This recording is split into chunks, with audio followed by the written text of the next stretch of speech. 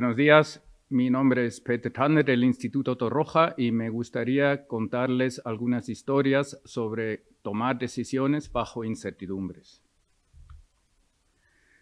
Terremotos, inundaciones, desastres nucleares, pero también colapsos de edificios, de puentes, nos recuerdan con cierta frecuencia nuestra vulnerabilidad en un entorno natural y tecnológico. Desastres y accidentes de este tipo producen daños personales, daños medioambientales, pero también, por supuesto, pérdidas económicas, tanto directas por los costes de reconstrucción, falta de productividad, como mm, pérdidas indirectas por la demora de usuarios, el impacto sobre el crecimiento económico o el desempleo que puede producir, etc. Por ello existe una demanda social para contrarrestar las amenazas que existen y el proyecto, la ejecución y la explotación de sistemas técnicos siempre requieren la consideración de aspectos de seguridad, medioambientales y económicos para alcanzar al final un nivel de riesgo aceptable, lo que siempre sea eso. Los riesgos naturales y tecnológicos se reducen a través de medidas que naturalmente deberían ser adecuadas y cualquier medida tiene un coste. Por otro lado, los recursos están limitados. Los objetivos en la gestión de riesgos consisten por ello en minimizar estos riesgos asignando de manera óptima los recursos disponibles, tanto los naturales como los financieros. Pasando ahora de la tecnología en general a la a las estructuras que nos ocupan, pues en la ingeniería estructural siempre eh, se tienen que considerar aspectos de seguridad para contestar a preguntas del tipo ¿qué es suficientemente seguro y qué precio estamos como sociedad dispuestos a pagar para reducir los niveles de riesgo? Vamos a ver ahora en primer lugar cómo se trata algunos aspectos, por lo menos, la seguridad y la fiabilidad en la ingeniería estructural en general. Luego veremos eh, cómo se puede hacer de manera alternativa, basados en riesgos, y sobre todo veremos algunos ejemplos de aplicación. Las estructuras deben ser proyectadas, construidas y mantenidas para que sean aptas para la utilización, no deben deformarse demasiado ni moverse demasiado, y evidentemente tienen que mantenerse resistentes y estables para todas las acciones e influencias previsibles. Esto, lo que se ve aquí en estas fotos, no debe ocurrir, evidentemente. Y estos requisitos se tienen que cumplir con un adecuado nivel de fiabilidad durante el periodo de servicio previsto y hacer posible de manera económica. Lo que hacemos como técnicos para cumplir con estas exigencias es adoptar medidas bien técnicas o administrativas que se pueden referir a todas las fases de un proceso que va desde estudios previos y el proyecto sobre la ejecución de una obra, su puesta en servicio y utilización, acompañado siempre por inspección y mantenimiento, hasta la inutilización.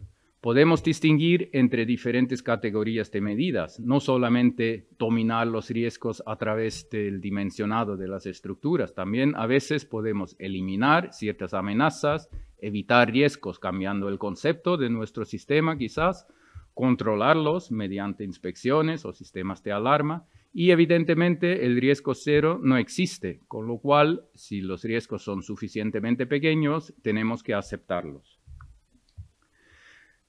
Tradicionalmente, la ingeniería estructural siempre ha sido una disciplina autorregulada que se materializa de tal forma que los propios técnicos establecen sus normas.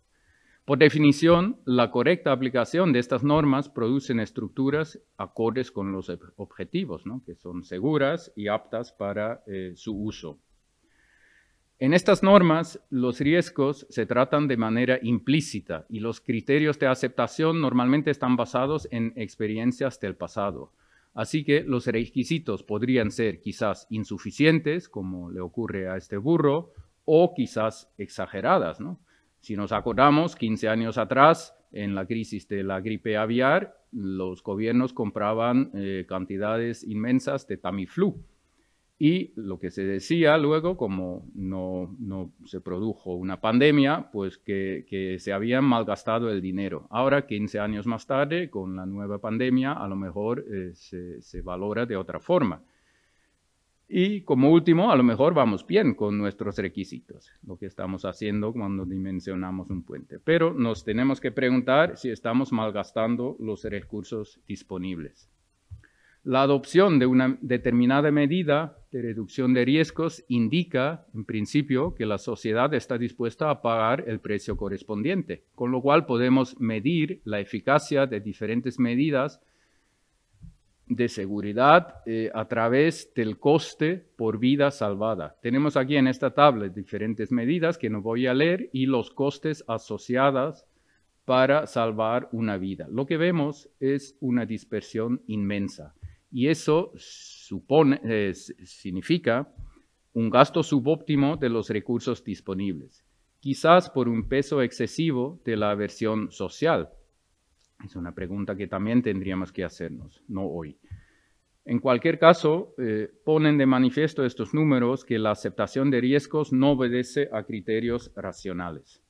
Pero las normas, en principio, eh, todavía tienen otro defecto más que también tenemos en cuenta. ¿no? Siempre tienen que estar basadas en el arte consolidado, el estado del arte consolidado, con lo cual siempre existe un desfase entre desarrollos nuevos y normas en vigor. Y estas normas, pues a lo mejor nos inhiben a adoptar eh, cosas, nuevos inventos, innovaciones, etc. Entonces se nos dice, bueno, el enfoque prestacional es el no va más, eso nos resuelve todos los problemas. A este respecto, lo primero que se puede decir que no se trata de una nueva idea. Si miramos cuatro mil años hacia atrás, en el código Hammurabi, que era un rey de Babilonia, pues eh, se decían cosas como que si construyes una casa y esta casa colapsa y mata al dueño, entonces serás castigado por la pena capital. Y si mata al hijo del dueño, entonces tu hijo será castigado por la pena capital. Ojo por ojo, diente por diente. Poner en práctica un enfoque prestacional de este tipo naturalmente resulta hoy en día difícil, pero lo que llamamos análisis de riesgo nos puede dar una salida. ¿A qué nos referimos cuando hablamos de riesgo en un contexto técnico? Pues nos referimos a una función de la frecuencia de un evento no deseado, como puede ser un colapso estructural, y de las consecuencias en caso de que ocurran. Ahora bien, tanto la frecuencia como las consecuencias de estos eventos no deseados son variables aleatorias. Están afectadas por incertidumbres, con lo cual el riesgo también lo es. ¿Y cómo podemos ahora cuantificar este riesgo? ¿Y qué nivel resultaría aceptable? El problema que tenemos es que no tenemos una base estadística muy amplia, aunque se produzcan em, colapsos estructurales de vez en cuando, son relativamente infrecuentes, con lo cual no podemos adoptar un enfoque frecuentista. Por otro lado, necesitamos una base racional para tomar decisiones. Lo que hacemos es seguir este, este esquema de flujo, este diagrama de flujo, para el análisis de riesgo en dos etapas. En primer lugar, el análisis cualitativo y luego el análisis cuantitativo. En el análisis cualitativo tenemos que pensar, tenemos que definir el alcance del sistema que estemos analizando, una sola viga, todas las vigas que se hacen según una norma, etc. Tenemos que identificar todas las amenazas, qué puede ocurrir, qué puede salir mal. Es decir, tenemos que identificar todos los escenarios de riesgo relevantes. Y una vez identificados para el sistema que estemos analizando, entonces podemos empezar a calcular, estimando probabilidades, consecuencias, estimando riesgos y decidir si son aceptables o no. En caso de que no, tenemos que adoptar otras medidas y a lo mejor volver a empezar. Ahora bien, para poder calcular necesitamos herramientas, necesitamos, eh, por ejemplo, modelos probabilistas para todas las variables que intervienen en un problema, es decir, tenemos que cuantificar estas incertidumbres de las que estamos hablando. También necesitamos modelos de consecuencias y métodos para evaluar riesgos y aceptar o decidir sobre su aceptación. Eso lo hemos hecho no vamos a poder ver cómo se han deducido, pero hemos inferido riesgos aceptables, que están representados aquí a la izquierda para edificios de viviendas y de oficinas, para, a la derecha para edificios, estructuras de edificios, donde se puede producir una acumulación de personas, teatros, estaciones, etc. Cada punto representa la estructura de un edificio y el riesgo asociado en función de su área total. Lo que vemos es claramente un efecto escala, aumenta el riesgo con el área total, y también vemos una inmensa dispersión de los resultados. Bien, estos riesgos lo hemos traducido en riesgos para las personas, obteniendo valores del orden de 10 a la menos 6 hasta 10 a la menos 5 por año. O sea, una de cada millón de personas podría morir en un colapso estructural y eso sería aceptable. Naturalmente se trata de riesgos nominales, pero nos tenemos que preguntar si eso es mucho o poco. Para ello, podemos comparar estos resultados con el riesgo mortal global por accidente, accidentes de tráfico, eh, desastres naturales, etc., que más o menos es 10 a la menos 4 por año.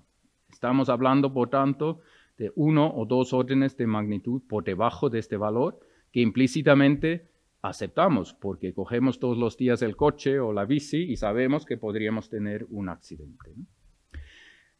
Estos valores luego los hemos transformado en probabilidades de fallo estructural aceptables y a su vez lo hemos transformado en índices de fiabilidad que son un poco más amigables para manejar que las probabilidades, pero representan lo mismo.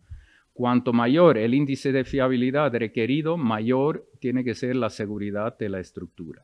Estos resultados los hemos, representado en función del área de colapso, en función del modo de fallo que estemos considerando. Y nos dice cuál es la seguridad, el nivel de seguridad que tenemos que tener en cada caso.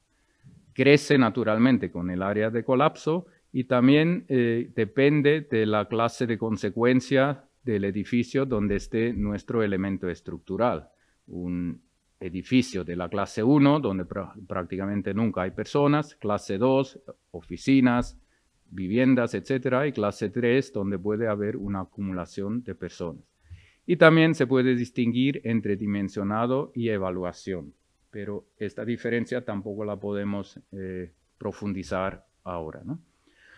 Lo que vemos aquí son estas herramientas resumidas que hemos desarrollado, los modelos probabilistas para las variables, los modelos de consecuencias en caso de que eh, ocurra algo, tenemos métodos para calcular el riesgo asociado con una estructura y, como hemos visto, tenemos criterios de aceptación, con lo cual ahora podemos funcionar y podemos aplicar estos métodos. ¿Para qué nos sirven? Bueno, normalmente cuando dimensionamos una estructura, comparamos los efectos de las acciones con la resistencia correspondiente. Y las incertidumbres asociadas se tienen en cuenta a través de los coeficientes de seguridad que están en las normas, tanto para las acciones como para la resistencia. Ahora, si aplicamos los métodos explícitos de análisis de riesgo, pues nos podemos salir de estas reglas de las normas, de este corsé de las normas, ¿no? Podemos aplicar métodos probabilistas, análisis de riesgo, también podemos tener en cuenta los efectos de inspecciones eh, y otras medidas que podamos adoptar, ¿no? Se nos abre, en otras palabras, todo un mundo para poder dimensionar o verificar o calcular nuestras estructuras. Y eso es lo que vamos a ver. Vamos a ver algunos campos de aplicación para estos métodos. Un típico campo de aplicación sería la concepción de estructuras innovadoras. Para entender a lo que me refiero, vamos a mirar hacia atrás.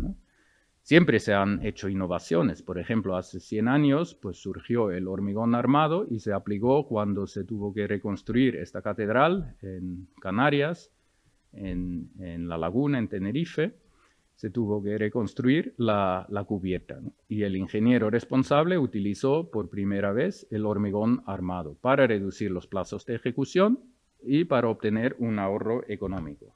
Ahora bien, este material era nuevo y ahora todo lo que sabemos no se sabía entonces.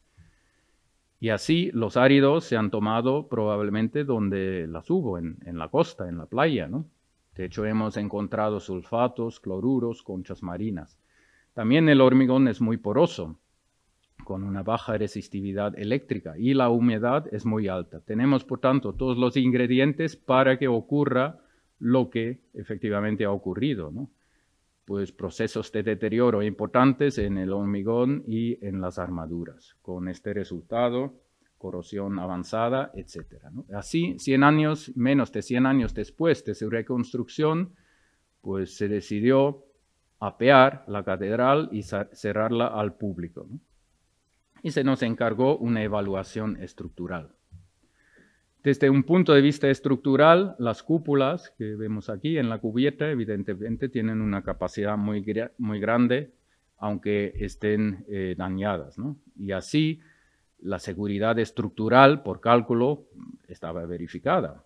Pero los daños estaban ahí, tanto en hormigón como en armaduras, era imposible parar eh, estos procesos de deterioro y también los métodos de, reparación conocidos pues estaban asociados con muchas incertidumbres. Por eso recomendamos pues demoler lo que es la cubierta y reconstruirla, manteniendo la parte, la parte inferior de la catedral y también la fachada principal que no era de hormigón sino de piedra. Como el problema era la corrosión, pues se nos ocurrió decir en algún momento que lo mejor para que evitar que vuelva a ocurrir es evitar el, uso de armaduras metálicas y por eso decidimos utilizar hormigón autocompactante con fibras de polipropileno en las láminas de las cúpulas y armaduras de fibra de vidrio en los arcos. Y eso causó pues estupor en, muchas personas porque decían, hace 100 años se ha utilizado materiales nuevos y eso ha conducido a un desastre. Ahora vienen estos insensatos de ingenieros y otra vez quieren utilizar materiales nuevos de los que no se sabe cómo se van a comportar y a lo mejor en 100 años hay que hacer otra vez una nueva catedral. Eso naturalmente no es así. Hoy en día con los métodos de, la ciencia de los materiales se puede prever lo que va a, pasar en 100 años y también se pueden tener en cuenta eh, las incertidumbres asociadas precisamente mediante análisis de riesgo. Y así lo hemos hecho y aquí está el resultado final frente a lo que teníamos antes, que creemos que el resultado es muy, muy aceptable. De hecho, ha sido muy aceptada en el público. Otro campo de aplicación de estos métodos de análisis de riesgo son las estructuras y los procesos transitorios, como este desmontaje de una marquesina en Miami, donde hay altas velocidades de viento, pero donde no podemos aplicar directamente la norma porque se modifica el sistema estructural, hay mecanismos de deterioro en la estructura, que precisamente era el motivo del desmontaje, y también el proceso dura solamente un breve tiempo, con lo cual no podemos aplicar simplemente la norma. Otro campo de aplicación es eh, las inspecciones y el mantenimiento, cómo tener en cuenta los beneficios de estas actuaciones. Y vamos a ver el ejemplo de una posible rotura por fatiga en un puente. Para que haya rotura tiene que haber una iniciación y propagación de una fisura de fatiga y además esta fisura tiene que quedarse sin detectar. Si se detectara, pues evidentemente se tomarán medidas para que no ocurra lo que ha ocurrido aquí en Corea hace unos años y que fue precisamente por fatiga. Estas dos condiciones se pueden representar en un esquema lógico en paralelo, con lo cual la probabilidad de fallo, teniendo en cuenta el beneficio de las inspecciones es la probabilidad de fallo sin inspecciones multiplicada por la probabilidad de no detección. Si no hacemos inspecciones, la probabilidad de detección es, nula. Si hacemos mm, buenas inspecciones con una buena posibilidad de detectar los daños, entonces aumenta esta probabilidad, con lo cual disminuye la probabilidad de fallo teniendo en cuenta las inspecciones. Y así podemos bajar esta probabilidad para que esté por debajo del nivel aceptable a través de las inspecciones. Y eso lo podemos aprovechar, por ejemplo, también con sistemas de monitorización como fibras, eh, fibras ópticas, etc., podemos elegir una serie de indicadores que nos dicen algo sobre el grado de cumplimiento de los requisitos de una estructura y mediante análisis de riesgo podemos definir valores umbrales, ¿no? En función del requisito a cumplir, Si es de seguridad estructural o de confort para los usuarios, evidentemente no es lo mismo. Si luego registramos lo que está pasando en el puente, podemos eh, instalar un sistema de alarma eh, para los casos en los que lo, que lo que el registro, lo que se mide, supere un umbral. Y así podemos automatizar y optimizar las inspecciones. Finalmente, otro campo de aplicación muy importante son las estructuras existentes y su evaluación. Si hacemos una estructura nueva, pues empezamos con el papel en blanco, nos inventamos el sistema y lo dimensionamos según la norma. Si lo hacemos bien, pues nuestra estructura tendrá una fiabilidad más o menos objetiva, que es la que exige la propia norma. En estructuras existentes muchas veces ni siquiera sabemos eh, cómo está construida, ¿no? tenemos información fiable sobre ella. Con lo cual, la fiabilidad dependerá de la información disponible. Es algo mucho más subjetivo. La diferencia fundamental entre evaluar estructuras existentes y dimensionar estructuras nuevas es, por tanto, el estado de la información. Y lo que hacemos es evaluar por fases, mejorando la precisión de la información. En una primera fase adoptamos unas hipótesis conservadoras. Si no somos capaces de verificar la seguridad estructural o la seguridad a la fatiga, podemos mejorar la información porque la estructura está ahí. ¿no? y podemos seguir con este procedimiento tantas veces como queramos. Normalmente se para cuando no hay duda sobre el resultado o ya no existe mucho margen para mejorar la información.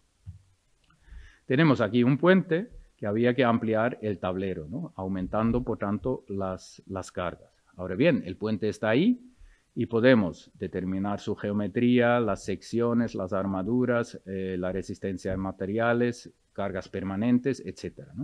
Es decir, de una información previa sobre una variable X pasamos a una información actualizada, normalmente se traduce a través eh, de una reducción de las incertidumbres.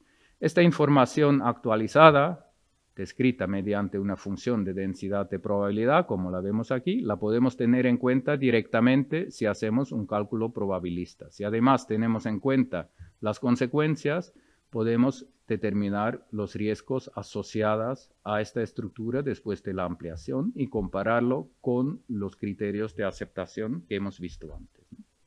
Y aquí vemos el resultado que ha sido posible ampliar sin tener que reforzar absolutamente nada. Algunas conclusiones para terminar para que no se olvide que los parámetros que intervienen en un análisis estructural son variables en el espacio y en el tiempo. Las prestaciones estructurales no son deterministas y se miden por ello en términos de fiabilidad. La fiabilidad requerida depende de las consecuencias mm, en caso de que se produzca un incumplimiento de algún, requisito. ¿no? Los métodos basados en riesgos son muy adecuados para tomar decisiones en todo este contexto, pero estos métodos se utilizan muy poco, entre otras cosas, por el desconocimiento y también por la complejidad que implica su aplicación. Pero pueden aportar beneficios muy importantes, como hemos visto a través de algunos ejemplos, hay más evidentemente, y por eso consideramos que se deberían fomentar. Muchas gracias por su atención.